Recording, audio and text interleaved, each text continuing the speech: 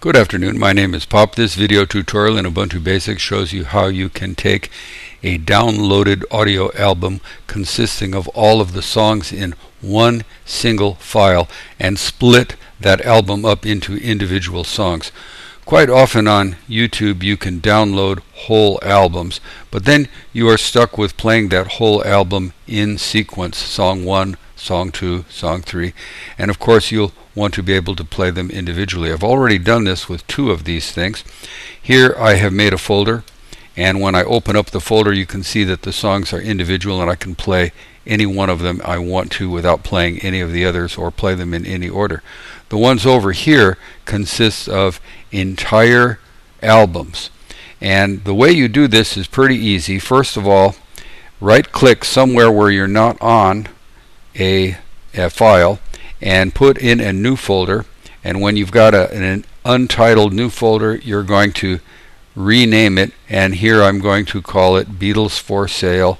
And I'll just go Beatles for Sale. And now I've got a new brand new blank folder. And I'm going to split this up and put it in here.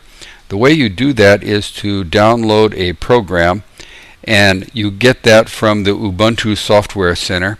And go to the Ubuntu Software Center and find yourself uh, the term audio splitter. And I've got this one right here. There are two but I, I use the first one that I found and it works pretty darn good. It's called MP3 SPLT GTK audio splitter.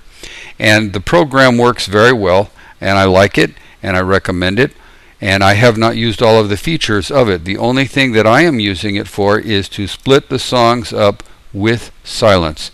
And you've got to tell it three parameters to hunt for.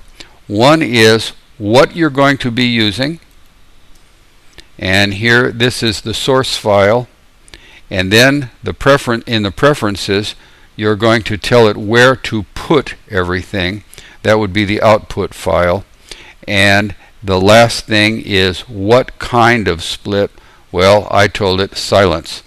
And here when I hit split, it does it. And I'm not going to put this on pause. I'm going to allow you to see how long it takes for an entire album. It doesn't take very long at all.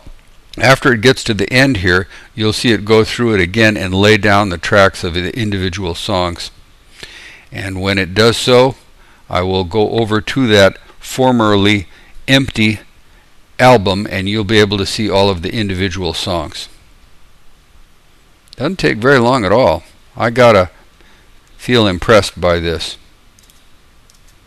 And here we go. I'm going to go back to Nautilus and I'm going to open this up and here is the Beatles for Sale individual songs and you can select any one of them now and play that one individual song. You do have to rename everything. It has no capability of renaming the songs by their proper name. My name is Pop and I've got a whole bunch of videos on YouTube called Ubuntu Basics and I thank you very much.